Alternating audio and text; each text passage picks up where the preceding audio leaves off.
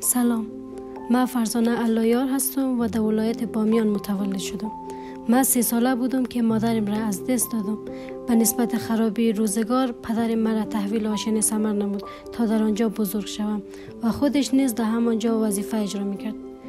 هنگامی که سنف دهم مکتب بودم پدرم دوباره مرا به خانه برد. هر روز حدود 35 دقیقه راه بیادم می‌رفتم تا به مکتب برسم. و بعد از مکتب یک نیم ساعت راه پیاده می رفتم تا کورس انگلیسی بخوانم.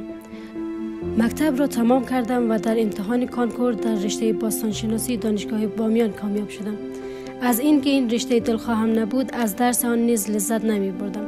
برای همین می‌خواستم ترک تحصیل کنم تا اینکه کارا لوزیر برایم پیشنهاد داد تا به یکی از رشته های دلخواهم در دانشگاه گوهرشاد در کابل ادامه تحصیل کنم من کنجکاو شدم در مورد راهله بدانم داستان راهله مرا وادار کرد تا بیشتر قوی و استوار باشم و برای زندگی بیشتر تلاش کنم و هرگز نباید تسلیم ناملایمات روزگار شد بورسیه راهله در قسمت ترانسپورت کتاب قرطاسیه و فیس دانشگاه مرا اسپانسر می کند اکنون نه تنها از درس و زندگی لذت می برم بلکه برای یک آینده بهتر نیز امیدوار هستم.